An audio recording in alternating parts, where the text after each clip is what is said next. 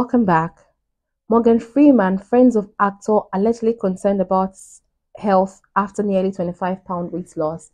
Friends of Morgan Freeman are concerned about his health. According to Radar Online, the Oscar-winning actor's loved ones worry he is wasting away and at a crisis point in his health due to his roughly 25 pound weight drop.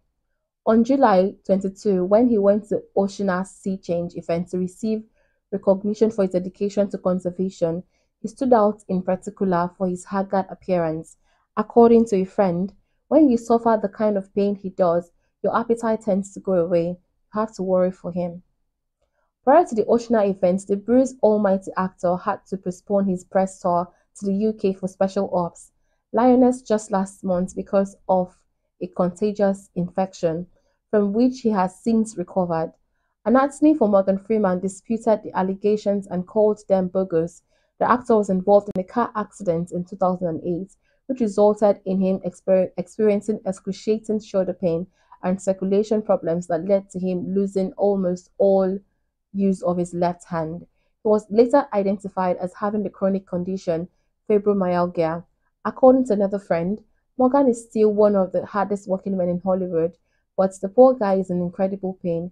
It hurts him to walk, get out of a chair, and even just move his arms. He mostly suffers in silence, but he's in agony much of the time. Another poll claimed that Freeman has lost 20 to 25 pounds over the past two years. Another poll claimed that Freeman has lost 20 to 25 pounds over the past two years. When you suffer the kind of pain he does, your appetite tends to go away, they said. You have to worry for him. Dr. Stuart Fisher, who has not personally treated the star, offered his professional opinion on Freeman's thin frame amid growing concerns in his inner circle. Aging is associated with loss of muscle, and when you can't exercise because of pain issues, muscles further decrease in size, he explained. Sadly, that seems to be what's happening to Morgan. What are your thoughts on the entire situation?